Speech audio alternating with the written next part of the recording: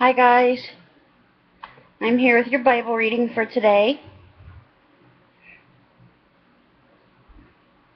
Going to take off from where we left off yesterday with Colossians.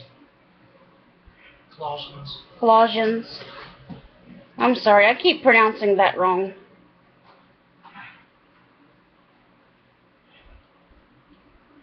How you say it guess is pronounced correctly, sure? Colossians. Colossians chapter 2, verse 8 through verse 23 today.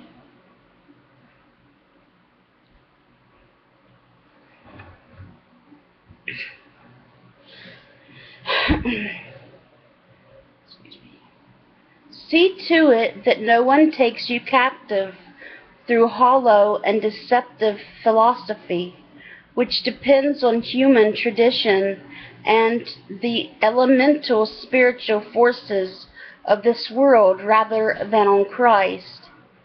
For in Christ all the fullness of the deity lives in bodily form, and in Christ you have been brought to fullness.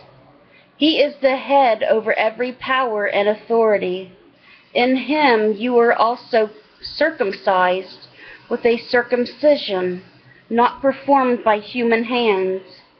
Your whole self, ruled by the flesh, was put off when you were circumcised by Christ, having been buried with him in baptism, in which you were also raised with him through your faith and working of God, who raised him from the dead. When you were dead in your sins and in the uncircumcision of your flesh, God made you alive with Christ. He forgave us all our sins, having canceled the charge of our legal indebtedness, which stood against us and condemned us. He has taken it away, nailing it to the cross, and having disarmed the powers and authorities, we made a public spectacle of them, triumphing over them by the cross. Therefore, do not let anyone judge you by what you eat or drink, or with regard to a religious festival, a new moon, celebration, or a Sabbath day. These are a shadow of the things that were to come. The reality, however, is found in Christ. Do not let anyone who delights in false humility and the worship of angels disqualify you. Such a person also goes into great detail about what they have seen. They are puffed up with idle notions by their spirit, unspiritual mind. They have lost connection with the head, from whom the whole body, supported and held together by its ligaments and sinews, grows as God causes it to grow. Since you died with Christ to the elemental spiritual forces of this world, why, as though you still belong to this world, do you submit to its rules? Do not handle, do not taste, do not touch. These rules, which have to do with things that are all destined to perish with use, are based on merely human commands and teaching. Such regulations indeed have an appearance of wisdom, with their self imposed worship, their false humility, and their harsh treatment of the body but they lack any value in restraining sensual indulgence.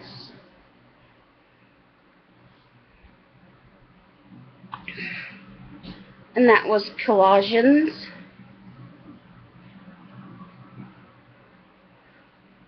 Chapter 2, verse 8 through verse 23. And for a psalm today, we're going to read Psalm 78, a maskil of Asaph. My people, hear my teaching, listen to the words of my mouth. I will open my mouth with a parable. I will utter hidden words, things, things from old, things we have heard and known, things our ancestors have told us. We will not hide them from their descendants. We will tell the next generation the praiseworthy deeds of the Lord, his power and the wonders he has done. He decreed statutes for Jacob and established the law in Israel, which he commanded our ancestors to teach their children, so the next generation would know them, even the children yet to be born. And they, in turn, would tell their children. Then they would put their trust in God and would not forget their deeds, but would keep his commands. They would not be like their ancestors, a stubborn and rebellious generation whose hearts were not loyal to God, whose spirits were not faithful to him. The men of Ephraim, though armed with bows, turned back on the day of battle. They did not keep God's covenant and refused to live by his law. They forgot what he had done, the wonders he had shown them. He did miracles in the sight of their ancestors in the land of Egypt, in the region of Zoan. He divided the sea and led them through. He made the waters stand up like a wall. He guided them with the cloud by day and with a light from the fire all night. He split the rocks in the wilderness and gave them water as abundant as the seas. He brought streams out of a rocky crag and made water flow down like rivers. But they continued to sin against him, rebelling in the wilderness against the Most High. They willfully put God to the test by demanding the food they craved.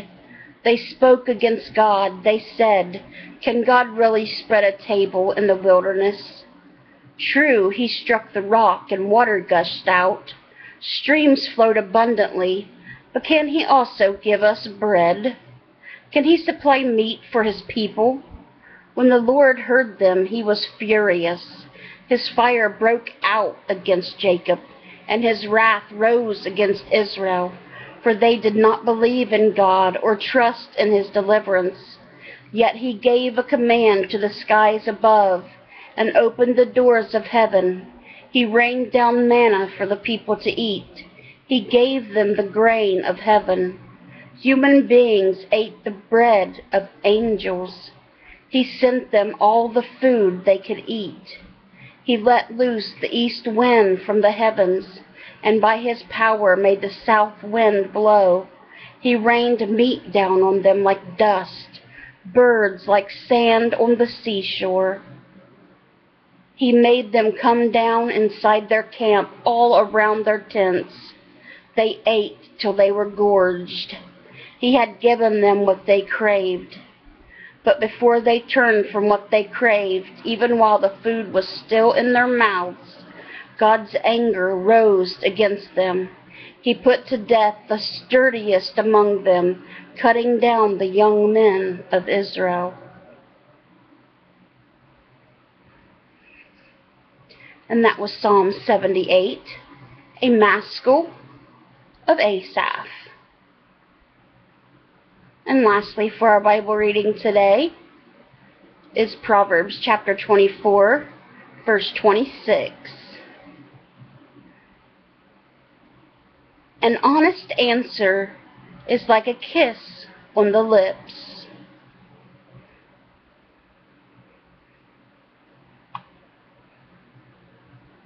And that was Proverbs chapter 24, verse 26.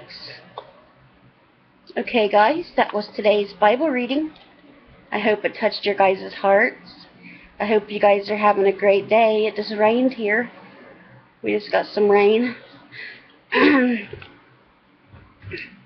think I'm going to make a couple videos. Um, I found some stories I thought I would share with you guys that I found in a magazine. So I'm going to get this Bible video up for you guys, and then I think I'll make you a couple story videos today. So I hope you guys um, have a great rest of your evening. Let's bring those souls to Jesus. And God willing, I'll see you guys again tomorrow with another Bible reading. Bye, guys. God bless.